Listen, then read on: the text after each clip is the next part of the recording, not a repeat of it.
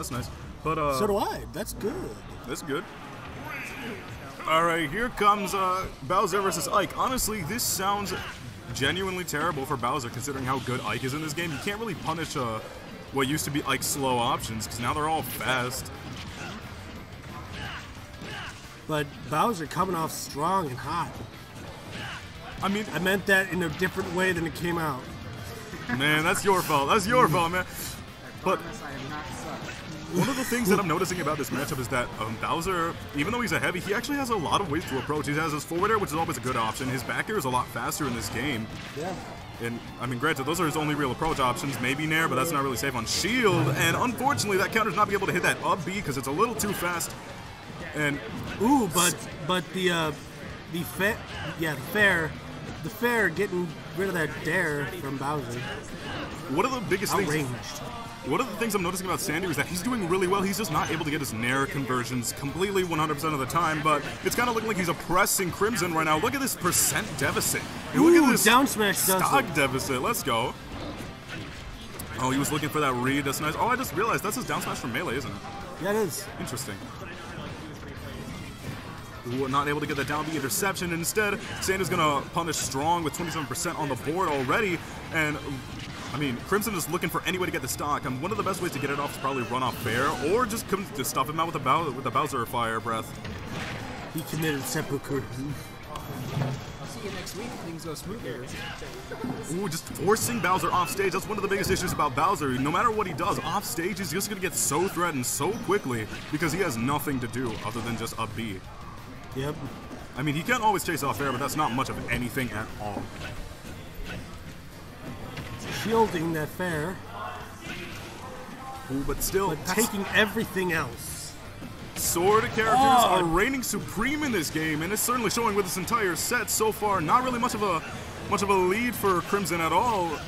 Or, but he is able to get that fair strain going. Only two though. One of the biggest one of the biggest things I'm noticing that uh, Crimson is doing really well is he able to he's able to capitalize whenever uh, Sandu's just standing still. One of the things he cannot do against Crimson is just stand still because he's gonna suddenly make up all this percent and he's about to die to the side B, but he's about to kill Ike as well. Instead of Fair being able to chase him off the stage and kill him. The hero of Radiant Dawn takes another stock. Honestly, it's not impossible for Crimson to make this up. All he needs to do is uh, force uh, force Ike off stage because, granted, they both don't have the best recoveries, but Bowser's is definitely much better than Ike's because Ike cannot go Bowser's uh, Bowser has horizontally at all. Bowser has more ver- horizontal recovery, whereas Ike's has more vertical recovery. Uh, even then, uh, the vertical recovery for Bowser is not too terrible. Instead, all you really need to do is do what you did to that first stock. Just force him off stage, throw him off stage, do whatever you can to get him off stage, and just Ooh, up air star him right kill. through the ledge. Nice. But instead, what I'm trying to say is, you just gotta fire breath him out Nope. there, or you can just fair him off stage. Two and he'll stocks. He got two stocked. JV. Mind if I steal? Yeah, yeah. Oh wait, no, my phone's actually. Oh. I'm sorry, boy. Is there another channel? Mine's a 28 actually. I can stay.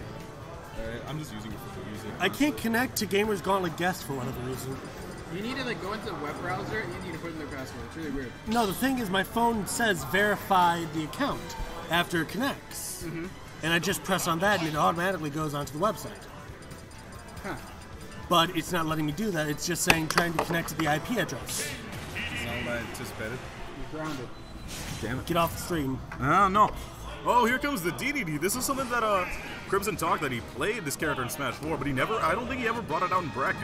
He has, he has. I like the new Pokemon stages. I- I don't think I'll ever get sick of Pokemon stages in Smash Bros. Never. I love them all. It's better than just two times and two. Two Animal Crossing stages. What?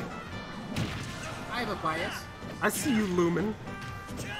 Okay, so a little bit more on this, a little bit more on this matchup. Uh, Say that again and I will punch you.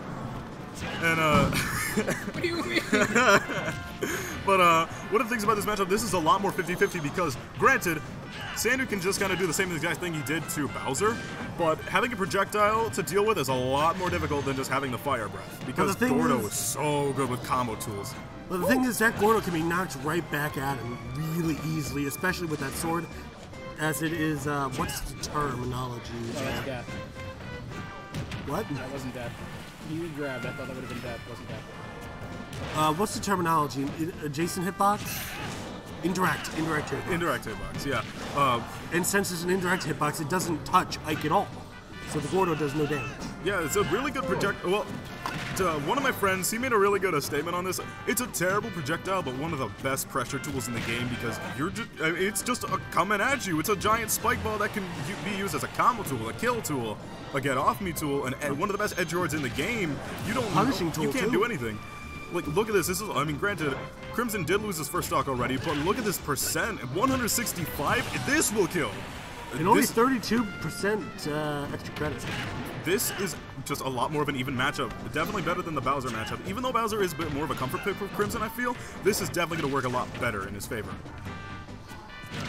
Ooh, trying to get that read and he did. He caught that spot dodge, and instead of being able to try to fair away, but instead the Gordo is going to be hit by the ledge, and it's forcing Gordo, um, forcing DDD off stage.